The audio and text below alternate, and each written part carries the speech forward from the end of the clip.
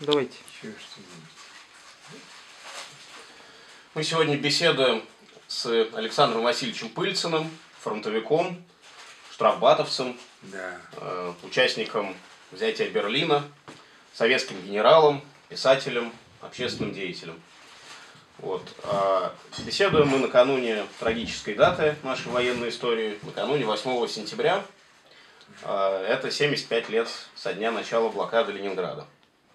И вот произошла такая история, что за несколько месяцев до этой даты у нас в городе появилась мемориальная доска финскому маршалу Карлу Маннергейму, который участвовал в этой блокаде, осаждал город с севера, был одним из ее организаторов. А, Как вы, Александр Васильевич, этот факт оцениваете? Как смотрите на то, что появилась здесь эта доска? Ну, вы знаете, после того, когда в Иркутске установили памятник Колчаку, вот, ну и, и, и много таких по- подобных э, фактов в нашей современной, как говорят, нынешней истории, то оно кажется уже, ну, каким-то запланированным действием, понимаете? Все это постепенно, постепенно, и вот э, то, то какие-то там э, возвращаются к нам э, бывшие белые Колчак. э, генералы или, или, их, или их тела. Вот. Но, во всяком случае, все это нас, фронтовиков, возмущает. Возмущает, потому что преклонение перед теми, кто хотел по- погубить Советский Союз во время войны, оно, оно не, не красит даже тех, кто, кто перед ним преклоняется, понимаете?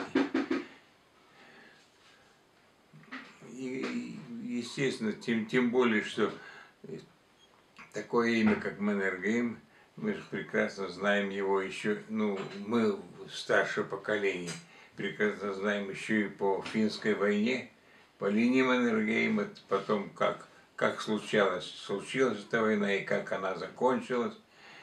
Ну, во всяком случае, мы знаем, что Маннергейм был виновником того, что миллион сказать, ленинградцев погибли во время блокады. Ну, вообще говоря, если на то пошло, так почему тогда Лейву не поставить какой-нибудь памятный знак, который организовал блокаду Ленинграда? Ну, можно придумать даже. Ой, а его Гитлер снял, потому что не получилось у него. Ага, значит, раз он был не с Гитлером, значит, он хороший человек, да? Вот, тем более, там, Гранин, потом Лебедев Юрий, они очень много пишут они, о нем, как он заботился о людях, как он же заботился о солдате немецком, о том, что он э, так сказать, был виновником гибели сотен тысяч и почти миллиона э, ленинградских жителей, это вро- вроде, так сказать, ничего, это не, это не отрицательный факт. Вот положительный факт, что он заботился о немецких солдатах и хвалят его. Ну, может быть, они еще этого э, Кюклера, который сменил его в январе 40, э, 42 года. Тоже его Гитлер снял, потому что он начал отступать, когда уже блокада фактически была ликвидирована. Ну, так, уж если на то пошло, ну, честное слово, у нас более приятное, что ли, впечатление было о короле Михае, румынском короле. Его даже наградили орденом Победы. Он до сих пор жив и до сих пор, так сказать, считает, что он совершил благое дело, когда вывел Румынию из войны и объявил войну Германии. Они участвовали в войне, и даже на Рейхстаге есть зап- э, роспись одного румынского солдата, э, который участвовал в битве за Берлин. Ну, в общем, получается так, что находим находим моменты, которые очень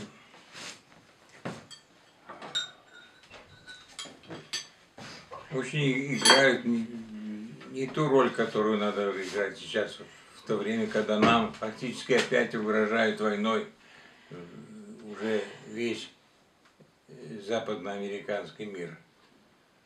Ведь фактически Украина – это плацдарм, с которого может начаться война.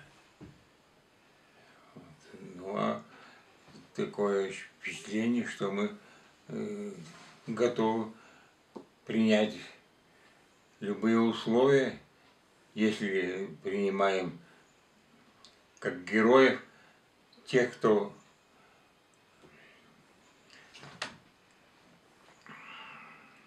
тех, кто пытался уничтожить наш, нашу страну. И сейчас стремление это уничтожить Россию, раз, раз, разгромить ее на, на кусочки, чтобы она не существовала как исторически сложившееся государство. Ну, не знаю. Казалось бы, такие парадоксы нашей жизни, да? С одной стороны, мы видим, какой сейчас э, взлет патриотизма в народе, да, как э, вот на 9 мая все клеют «Спасибо деду на победу», наклейки, «Бессмертный полк», генералиссимуса Сталина выносить стали в большом количестве портреты. И, сказать, известно, что у Сталина рейтинг высокий сейчас среди русского народа. И вдруг, и вдруг Маннергейм, вдруг памятник Краснову э, открывается, да, который сказать, непосредственно у Гитлера возглавлял рейхскомиссариат по казачьим войскам на Восточном фронте. Да. А о чем думают эти люди, как вы думаете? Вот э, глава администрации президента Иванов, министр Мединский, которые открывали эту доску, где их логика? Не знаю, где логика. С Мединским у меня интересно, ну, как сказать, не, не сложились отношения, хотя я и пытался эти отношения завязать. Дело в том, что в его книге, э, большой книге, 38 год, «Война», там он цитирует меня, когда ведет речь о сортных батальонах. Ну, я и подумал, раз он, так сказать, цитирует меня, значит, он э, знает, читает. И вот последнюю книгу, которую я и вам подарил, я передал в Российское военно-историческое общество где председателем этого общества почему-то гражданский министр. Ну уж есть у нас и Махмуд Гореев, генерал армии, доктор исторических наук, доктор военных наук. Почему бы не быть ему председателем этого российского общества? Или генерал Ивашов, тоже доктор исторических наук. Ну, а вот взяли и сделали э, Мединского. Но, видимо, тоже с какой-то целью определенной. Потому что не получается. В свое время Мединский э, в передаче с Соловьевым ему задали вопрос, а что если бы вам сейчас пришел молодой человек и принес книгу такую, как вот э, у Достоевского унижен, то же самое преступление наказание. О, мы бы ему зеленую улицу устроили. Я ему написал письмо. Я не молодой человек, я уже человек э, давно, так сказать, перешедший всякие пределы, так сказать, среднего возраста россиян. Вот. 90-летний человек. Но я вам предлагаю книгу, которая вот, о штрафных батальонах где правда, вместо того, чтобы вот, пускать на, на всех экранах и на всяких и, в издательствах неправду, типа Володарского, вот, делайте книгу, сделайте прав... издайте книгу такую в массовом тираже, потому что я, например, издал эту книгу за свой счет, фактически ну, тиражом полтысячи экземпляров. А ведь требуется и просят люди как можно больше, больше, больше правды давайте. Ну, замолчал. Когда я эту книгу послал, его сотрудники, ну, в частности, там, Назаров, э, Мерков, увидели эту книгу, говорят, такая книга, так, такая правда о войне, и в таком малом количестве экземпляров, ну что это такое 500, 500 экземпляров? Давайте мы эту книгу переиздадим в большом, э, большом количестве экземпляров. Я говорю, ну а как это сделать? Ну как, вы нам дадите полностью, так сказать, э, диск этой книги, а мы ее через крупное издательство издадим. Ну дай бог. Не получилось. А потом замолчал Назаров, это, который был инициатором этого, замолчал, потому что, видимо, видимо, кто-то цикнул на них, не смейте эту правду проталкивать. Вот лучше пусть будет правда Володарского, правда Михалкова, где штрафной батальон вооруженный черенками от лопат идет на крепость. Ну, слушайте, такое, до такой степени уже додуматься до, до таких нелепостей и считать это это правдой. Ну вот, э, видимо, и, и Маннергейм тоже, вот, вот правда. А вот он служил в российской армии, он даже русский язык лучше знал, чем, чем финский. Потому что он, во-первых, швед по национальности. Во-вторых, служил-то он фактически не в России, а в Варшаве. Тогда Варшава была российская. Вот. И потом где-то здесь конюшня была, где он начинал свою службу. Ну, не зря его эти самые э, защитники Ханка назвали прихвостнем хвоста. Ну, не знаю, во всяком случае, эта фигура это настолько отрицательная в истории людей, а тем более в истории ленинградцев, переживших блокаду. И, и вот плюнуть, так сказать, в, в лицо этим погибшим и тем, кто помнит все это, поставить вот на вам Маннергейма, поставим еще, ну поставите давайте Корнилова, поставьте давайте еще, да мало ли что можно найти, найти какую-нибудь зацепку, а вот он вроде русский язык хорошо знал, поэтому он достоин. Ну,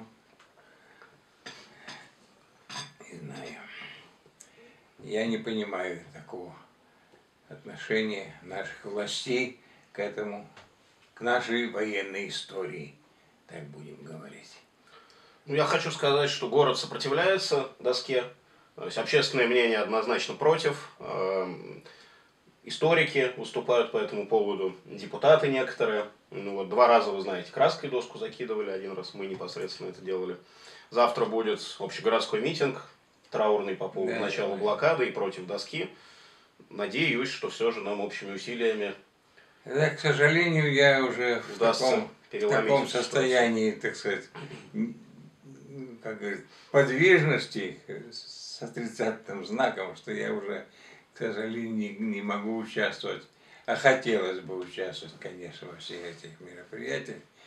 Вот, ну, что... Ваше слово, ваша биография, оно весит больше, чем наши действия, поэтому вы просто, говоря об этом, безусловно, чашу весов склоняете туда, куда нужно нам всем. Надеюсь, что удастся все-таки с ней справиться. Я, я еще считаю своим, ну что ли, недостатком своей биографии, что мне не удалось участвовать в обороне Ленинграда. Ну, ты других. Ну, везде ж невозможно да. успеть. Фр фр фронт белорусский прошел мимо. Вот. Антонина Васильевна, вот, например, она сирота, круглая сирота, у нее Отец погиб Синяя. при защите Ленинграда. Братишка погиб во время бомбежки в Ленинграде.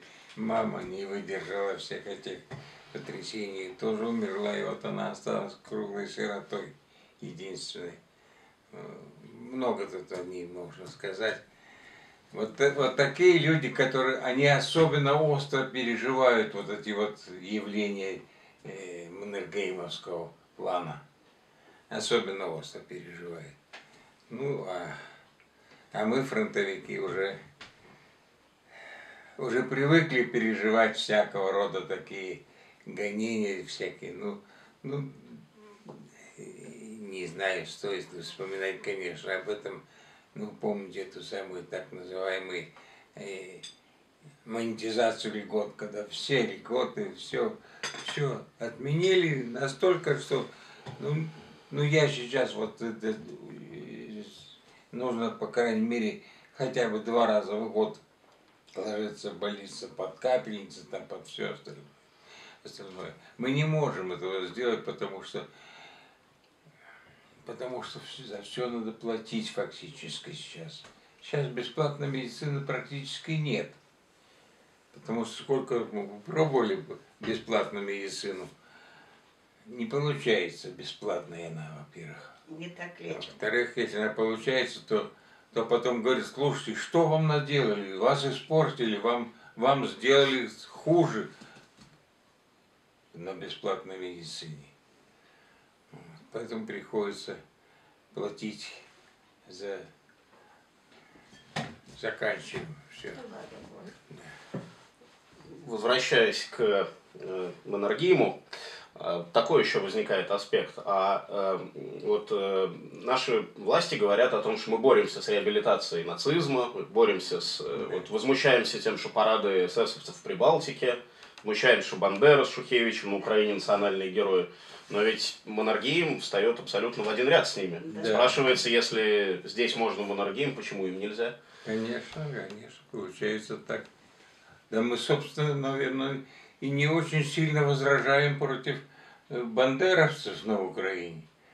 Потому что, ну, я вспоминаю, когда был президентом Украины Ющенко, когда поднялась вся эта бандеровская, извините, э, банда, когда во время праздника 9 мая с ветеранов, которые шли, снимали, срывали и ленточки, и срывали медали.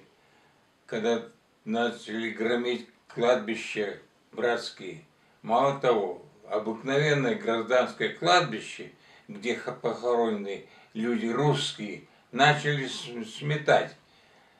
У меня мама похоронена в Ивано-Франковской. Ее могилу сравняли с землей, потому что там крест и надписи, и фотографии, все по-русски было написано. И фамилия русская, и по-русски написано. А, москали, вон здесь, с украинской земли.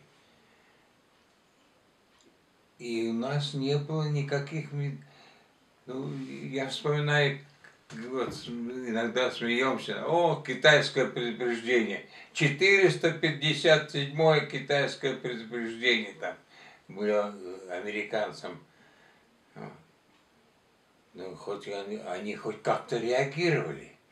А у нас никаких, не абсолютно, вот только против этого самого эстонского бронзового солдата вот, как, как-то еще проявились. А потом